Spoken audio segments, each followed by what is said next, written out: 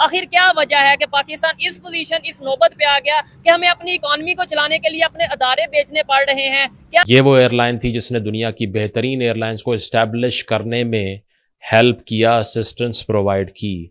India हमसे बहुत आगे तभी चला गया था जब उन्होंने आईआईटीज बनाई थी 1960 में। ठीक है। नेहरू के टाइम पे।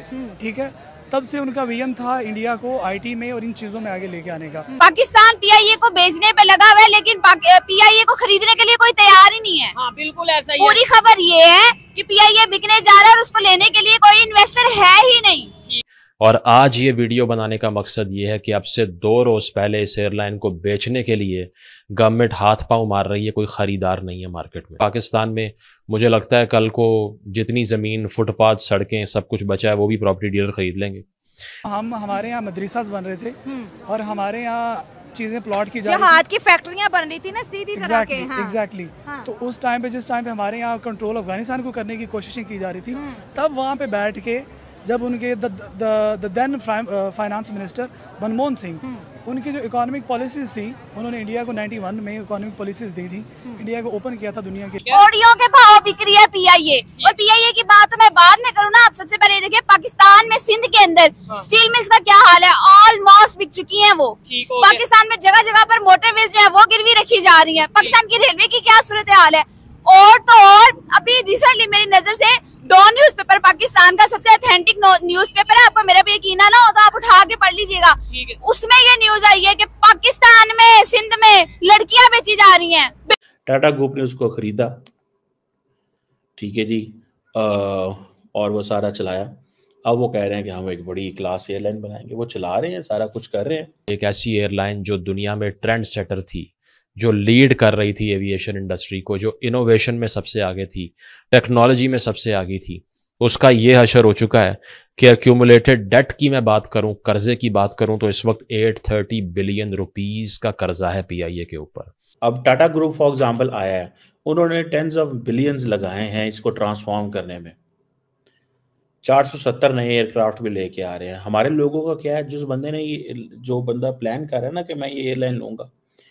पाकिस्तानी हुकूमत बिल्कुल इस नौबत पर आ गई है कि अपनी एयरलाइन पी आई ए को बेच रही है। मगर मसला सिर्फ़ ये नहीं है कि एयरलाइन को बेच रही है। मसला ये है कि कोई भी मुल्क पी आई ए को खरीदने के लिए तैयार नहीं है। सारे मुल्कों ने पीआईए को खरीदने से इनकार कर दिया है, जबकि दूसरी तरफ़ इंडियन नेशनल एयरलाइन है, जो रोज बरोज तरक्की कर रही है। पाकिस्तानी मीडिया पाकिस्तानी गवर्नमेंट पर बहुत ज़्यादा गुस्सा है और पाकिस्तानी हुकूमत को बहुत सी बातें सुना रही है। अब लोगों के साथ पाकिस्तानी मीडिया और खासकर पाकिस्तानी पब्लिक जो सड़कों पर निकल कर आई है और एहतजाज कर रही है। वीडियो शेयर करते हैं तो हमारे साथ वीडियो में लास्ट तक रहिएगा। कि पाकिस्तान अपनी एयरलाइंस पीआईए सेल करने जा रहा है। आखिर क्या वजह है कि पाकिस्तान इस पोजीशन इस नौबत पे आ गया कि हमें अपनी इकोनॉमी को चलाने के लिए अपने अदारे बेचने पड़ रहे हैं? क्या वजह है? इसके ऊपर बात करेंगे। अस्सलाम वालेकुम अम्मा जी। वालेकुम अस्सलाम। कैसी हैं आप? मैं बिल्कुल ठीक हूँ आप कैसे हैं? मैं भी फिट फाट खबर सुनी है जी पीआईए फॉर सेल क्या कहना चाहेंगी?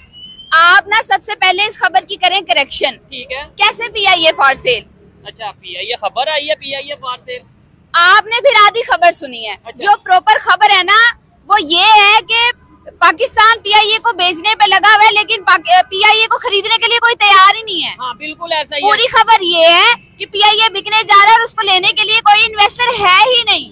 ओडियो के भाव बिक रही है पीआईए और पीआईए की बात तो मैं बाद में करूँ ना आप सबसे पहले देखिए पाकिस्तान में सिंध के अंदर हाँ। स्टील मिल्स का क्या हाल है? ऑलमोस्ट बिक चुकी है वो। पाकिस्तान में जगह जगह पर मोटरवेज जो है वो गिरवी रखी जा रही है। पाकिस्तान की रेलवे की क्या सूरत हाल है? और तो और अभी रिसेंटली मेरी नज़र से डॉ न्यूज़पेपर पाकिस्तान का सबसे अथेंटिक न्यूज़पेपर है। आपको मेरा भी यकीन ना हो तो आप उठा के पढ़ लीजिएगा।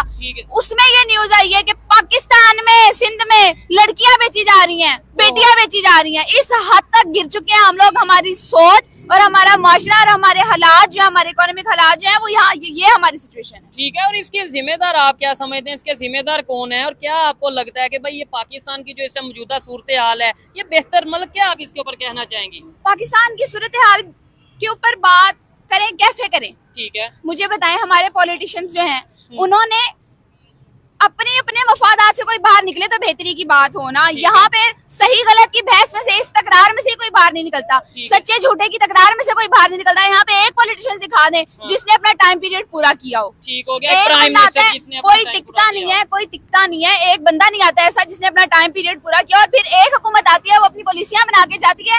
अगली हुकूमत आती है बजाय इसकी उन पॉलिसियों को कंप्लीट किया जाए। जो जो इनिशिएटिव्स उन्होंने लिए उनको कंप्लीट किया जाए। नहीं आने अपनी उनको रद्द कर देना अपनी पॉलिसी बना देनी है है इस दूसरे कंट्रीज़ की हम बात करेंगे क्या समझते हैं जो हमारे नेबर कंट्रीज़ हैं लेकिन उससे पहले आपसे ये सवाल करूँगा लेकिन उससे पहले भाई से बात करता हूँ आपका नाम? मोहम्मद जहीर जहीर भाई क्या कहना चाहेंगे? P I A for sale और ये जैसे बैन ने बात की और भी बहुत से इंस्टीट्यूट हैं? जैसे आप ही कह रही है बिल्कुल ठीक कह रही है मेरा भी यही डाइट होगा जो आप ही कह रही है वो फॉर एग्ज़ाम्पल हंड्रेड परसेंट यही है। अच्छा। क्या ऐसा हुआ?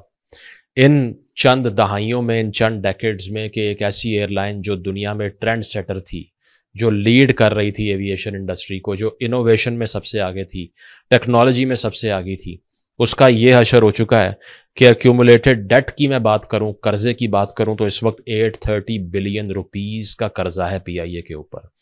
लॉसेस जो हैं, वो तकरीबन 700 बिलियन रुपीस के करीब पहुँच चुके हैं।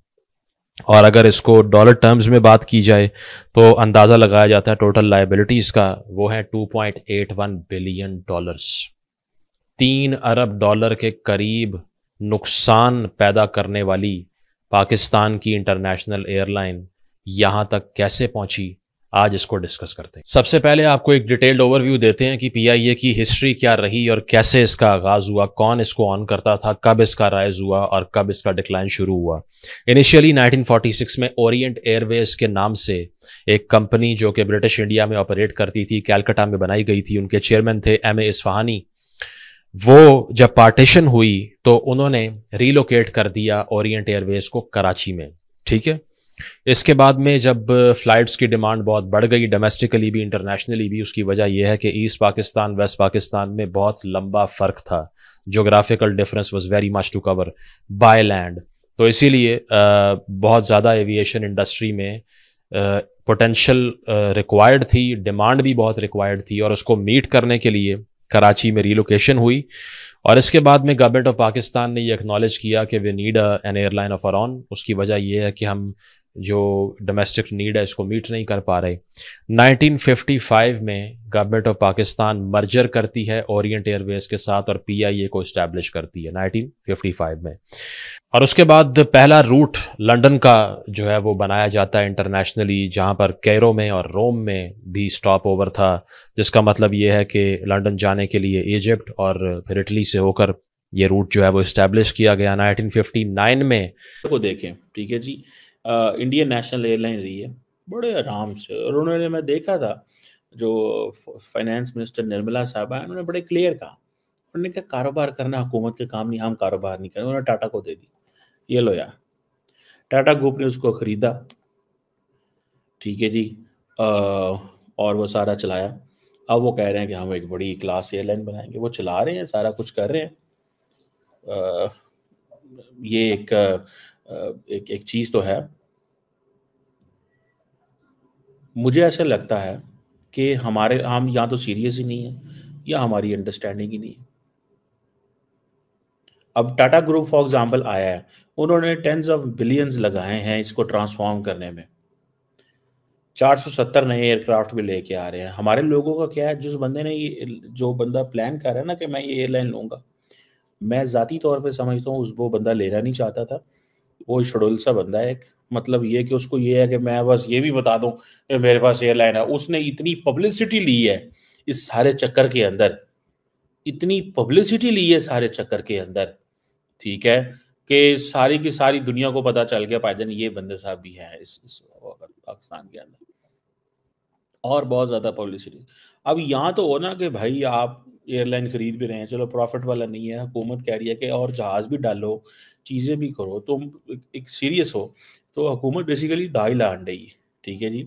अब एयर इंडिया ने एक capital intensive five year plan बनाया कि हमें कैसे अपनी पोटेंशियल और यार मैं आपको बात बताता हूँ, मैं ट्रैवल करता हूँ ट्रस्ट मी द मोमेंट हम आते हैं, मैं जो मेरी डेस्टिनेशंस होती हैं, मैं वॉशिंगटन से आ रहा हूँ इस्टंबुल से आ रहा हूँ, या लेट्स से यूरोप से आ रहा हूँ यहाँ की मिडल ईस्ट में इधर उधर घूम रहा हूँ। जो जहाज़ दुबई से अबू धाबी से पाकिस्तान आते हैं ना, वो बड़े छोटे जहाज़ होते हैं। ज़रा मज़ा नहीं आ रहा होता